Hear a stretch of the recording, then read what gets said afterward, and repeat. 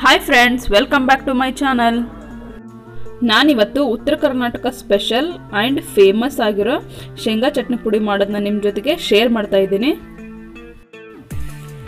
ಈ ಚಟ್ನಿ ಏನಪ್ಪ ಅಂತ ಹೇಳಿದ್ರೆ ನಿಮಗೆ ಚಪಾತಿಗೂ ಮ್ಯಾಚ್ ಆಕತಿ, ರೊಟ್ಟಿಗೂ ಮ್ಯಾಚ್ ಆಕತಿ ಸೊ ಉಳಿದು ಏನೇ ತಿಂಡಿ ಮಾಡಿದ್ರೆ ಎಲ್ಲದಕ್ಕೂ ಇದು ಮ್ಯಾಚ್ ಆಕತಿ.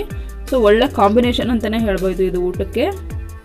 ಹಾಗಾದರೆ ಇದಕ್ಕೆ ಏನೇನು ಇಂಗ್ರೀಡಿಯೆಂಟ್ಸ್ ಬೇಕು ಅಂತ ಫಸ್ಟ್ ನಾನು ನಿಮಗೆ ಹೇಳ್ತೀನಿ ಬರ್ರಿ.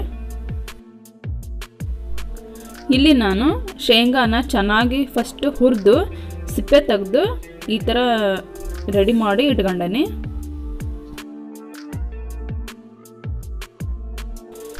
ಇಲ್ಲಿ ನಾನು ಒಂದು ಏಳರಿಂದ ಎಂಟು ಬೆಳ್ಳುಳ್ಳಿ ತಗೊಂಡನಿ, ಒಂದು ಸ್ಪೂನಷ್ಟು ಜೀರಿಗೆ ತಗೊಂಡನಿ, ಎರಡು ಸ್ಪೂನು ಖಾರದ ಪುಡಿ, ಒಂದು ಸ್ವಲ್ಪ ಬೆಲ್ಲ, ರುಚಿಗೆ ತಕ್ಕಷ್ಟು ಉಪ್ಪು, ಒಂದು ಸ್ವಲ್ಪ ಒಣ ಕರಿಬೇವು, ಬಿಸಿಲಲ್ಲಿ ಒಣಗಿಸಿರೋದಿದ್ದು ನೀವು ಹಸಿ ಕರಿಬೇವು ಹಾಕಬೇಕು ಅಂತ ಹೇಳಿದ್ರೆ, ಶೇಂಗಾ ಹುರಿತಿರಲ್ಲ, ಆ ಟೈಮಲ್ಲಿ ಹಸಿ ಕರಿಬೇವು ಕೂಡ ನೀವು ಚೆನ್ನಾಗಿ ಹುರ್ಕೋಬೇಕು, ಡ್ರೈ ಆಗೋ ಥರ.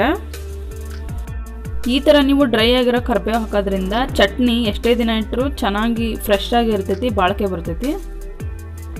ಮತ್ತು ಎರಡು ಟೀ ಸ್ಪೂನಷ್ಟು ಹುರ್ಗಡ್ಲೆ ಹಿಟ್ಟು ಹಾಕ್ತೀನಿ. ಇದು ಹಾಕೋದ್ರಿಂದ ಶೇಂಗಾ ಆಯಿಲಿ ಆಯಿಲಿ ಇರುತ್ತಲ್ಲ, ಇದು ಹಾಕೋದ್ರಿಂದ ಚೆನ್ನಾಗಿ ಹೊಂದ್ಕೊಂತದ್ದು ಚಟ್ನಿ. ಇವಾಗ ನಾವು ರೆಡಿ ಮಾಡ್ಕೊಂಡಿರೋದೆಲ್ಲ ಮಿಕ್ಸಿ ಜಾರಿಗೆ ಹಾಕೊಂತೀನಿ. ಇವಾಗ ಶೇಂಗಾ ಹಾಕೊಂಡನಿ. ನೆಕ್ಸ್ಟು ಉಪ್ಪು, ಖಾರದ ಪುಡಿ, ಬೆಳ್ಳುಳ್ಳಿ, ಕರಿಬೇವೆಲ್ಲ ಇಟ್ಕೊಂಡಿದ್ವಲ್ಲ ಜೀರಿಗೆ, ಅದನ್ನು ಹಾಕೇನಿ ಇವಾಗ. ಎರಡು ಟೇಬಲ್ ಸ್ಪೂನಷ್ಟು ಹುರ್ಗಡ್ಲೆ ಇಟ್ಟು ಇಟ್ಕೊಂಡಿದ್ವಲ್ಲ, ಅದನ್ನು ಹಾಕೀನಿ. ನೋಡ್ರಿ, ಇವಾಗ ಮಿಕ್ಸಿ ಮಾಡೀನಿ ಈ ಥರ ಆಗೈತಿ. ಸೊ ಇನ್ನೂ ಒಂದು ರೌಂಡ್ ಮಿಕ್ಸಿ ಮಾಡ್ತೀನಿ ಇದನ್ನು. ಈ ಚಟ್ನಿ ಮಾಡೋದು ತುಂಬಾ ಈಸಿ ಇದು. ಹಾಗೆ ತುಂಬ ಟೇಸ್ಟ್ ಕೂಡ ಇರುತ್ತೆ. ನೋಡ್ರಿ, ಇವಾಗ ಚಟ್ನಿ ರೆಡಿ ಆಯಿತು. ಇನ್ನು ಯಾರು ನನ್ನ ಚಾನಲ್ಗೆ ಸಬ್ಸ್ಕ್ರೈಬ್ ಆಗಿಲ್ಲ ನೋಡಿ, ಇವಾಗಲೇ ಸಬ್ಸ್ಕ್ರೈಬ್ ಮಾಡಿ. ಈ ವಿಡಿಯೋ ಇಷ್ಟ ಆದರೆ ಲೈಕ್ ಮಾಡಿ ಕಮೆಂಟ್ ಮಾಡೋದು ಮಾತ್ರ ಮರಿಬೇಡ್ರಿ. Thank you for watching my channel bye